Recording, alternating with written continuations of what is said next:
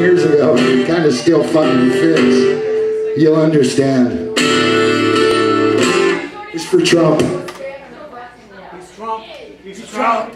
He's Trump. He's in my head.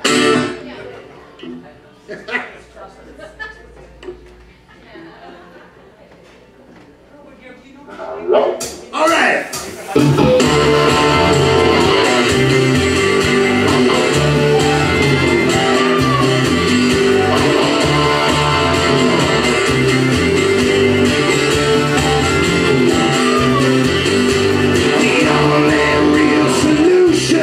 never